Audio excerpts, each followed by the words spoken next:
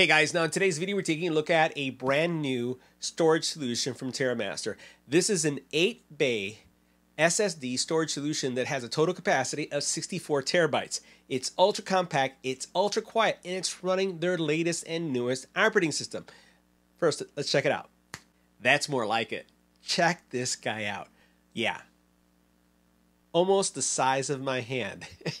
and this can be connected to your network and it is ultra quiet.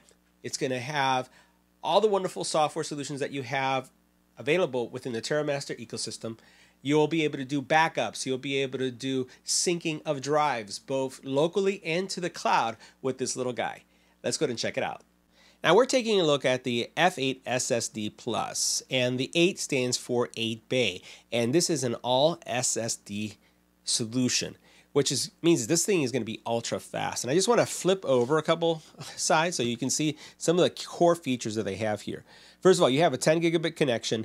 You basically have great software, uh, and it's also tool free. No screwdrivers, nothing that you have to do in order to be able to connect things. You have their latest operating system, TOS 6. It has eight slots that you can use.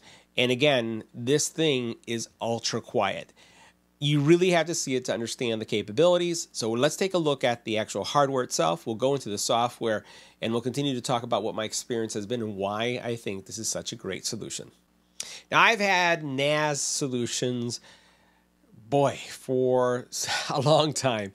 And I've never seen anything this small, this compact, that has this much storage. Uh, here's my hand, and you can see how big this solution is. Look how narrow it is. Super duper narrow right? And there's really not much to this device outside of really the the bays necessary in order to store the actual memory and then cooling itself.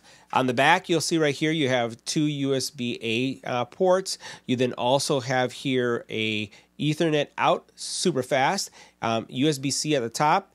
You also then have HDMI out, right? So you can actually use this, um, you know, not so much as a PC, but if you want to have a video uh, component to it, you can in your power solution. All these are again in this compact frame. Now by simply removing one screw, this little guy right here, you push up like this, and then this is where you get to see everything that's going on here. So there's not a lot here, right? So look at all the bays you have here, and then you have all these bays over here, and then obviously this has its own, uh, I would say, memory because it does have a pretty fantastic processor. And we're going to be going over the specs and a little bit more detail really shortly. But I wanted to get you straight to the product because it's an amazing product, ultra quiet, and also ultra fast. So, uh, pretty much as you can see here, everything is really using your hand. So if you want to be able to remove a drive, all you have to do is screw this off, plug it in. And you'll notice that here you have your drives on one side, and then here you have support for even more. Pretty straightforward type uh, solution when you look at the hardware. All it really has is the power button on top, and that's it. Now, before taking a look at the operating system and just the overall experience that you'll get with this uh, solution, I wanted to just review at a high level some of the specs that I think are really stand out on the product. Uh, first of all, we're taking a look at again at the F8 SSD Plus, and as you saw, this thing is incredibly tiny and it has a lot of expansion. And a couple of things that to note is that it also has a processor, which is one thing I wanted to make sure that you guys all really took note of. Intel Core i3, 8 core, 8 threads, which makes this, when it comes to retrieving content as well as storing, synchronizing, cloud sync, all the features that you would expect coming from an NAS, really liquid. It's super fluid, and you don't really feel any kind of stuttering or latency with the system.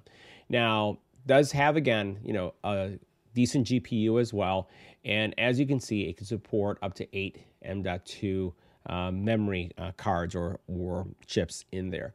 And I really like, again, the speed that we saw here. So the highlights again, great processing, super smart. Also, you just don't hear it. So typically I would have my NAS in my wire closet, but if you want to have this closer to a PC for whatever reason, it's not going to bother you. It is super quiet. Now, from an expansion perspective, you can get up to 64 terabytes of space uh, storage on this unit. And again, that's all going to be at the fastest possible speeds because let's face it, you know, as you start looking at your NVMEs, these little guys are super fast. So having that type of capacity and also the speed that comes from an M.2 SSD is pretty spectacular. Now, the other thing I found pretty interesting is that you can expand the solution, right? So this could be an expansion solution as well. So if you, this is not the first time that you have a NAS and you basically have like something like the D8 hybrid, you can connect it to it. So, you know, that 64 plus the max capacity that you have in the D8 hybrid of 128 gig or terabytes in this case is pretty, again, amazing when you think about the combination of two. So this is something that you can really look at combining both of them together. Either you could start here and add this, or if you've started here and you want to add this. Now, this is TOS 6.0, and keep in mind that this platform is still in beta. And I'll show you some of the things about this uh, solution that I really like. It is incredibly easy to use.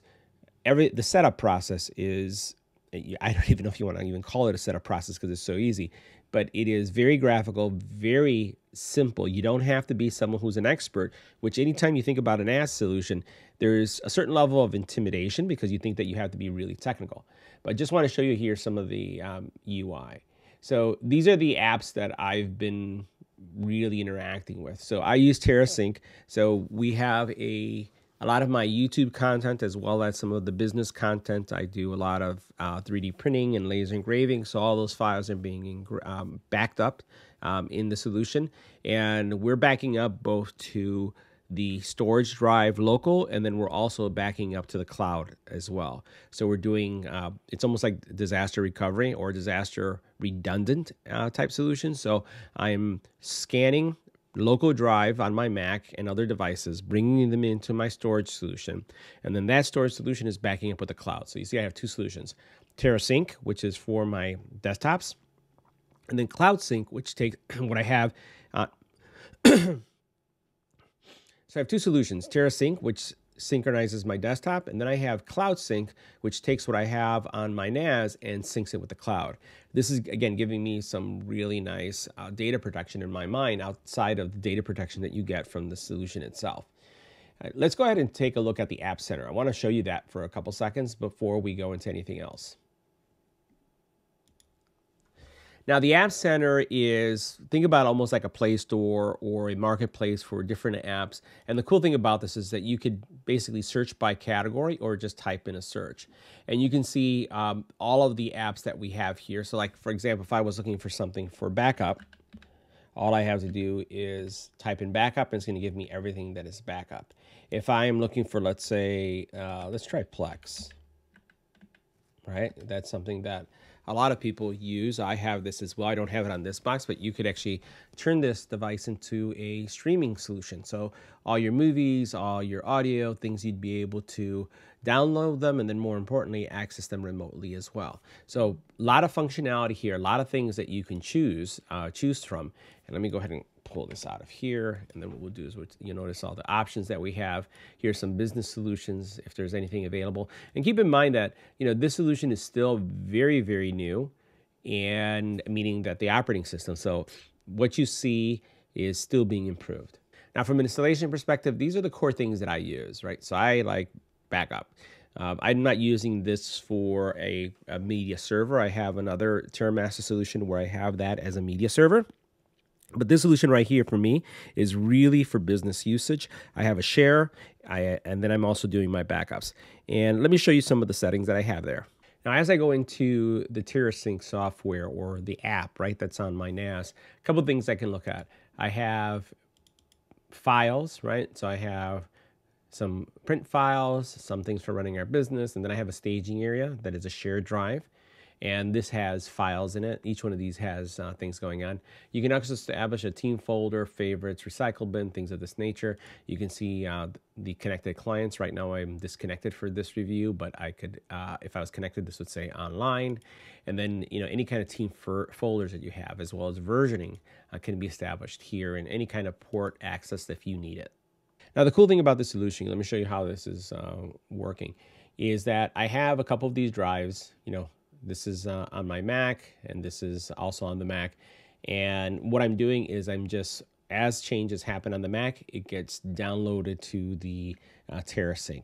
So this is happening automatically. And you can see that it's up to date and everything is online. If it wasn't, it'll tell you on the screen. If it's paused, it's going to tell you on the screen as well. And the thing is that for, for us and the way we use the system, having uh, having the our creation, which takes place on the Mac, either videos or these type of template files that are used for our laser engraving business, and having them backed up automatically two ways makes it really really convenient. Now combining TerraSync with also CloudSync is really convenient because again, this backs up here and then this backs it to the cloud for me. Now under settings, you basically have where you can create users, you can create shared folders, you can create remote uh, folders, you can work with the applications, you know, media. There's a lot of things that you can explore.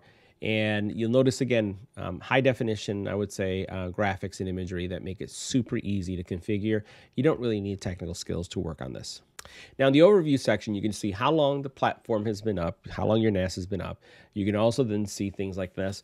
We just talk about CPU, memory usage, volume usage device temperature, and then you'll find also IP address information further down that I'm not going to go into. So guys, that wraps up our review. See you in the next video.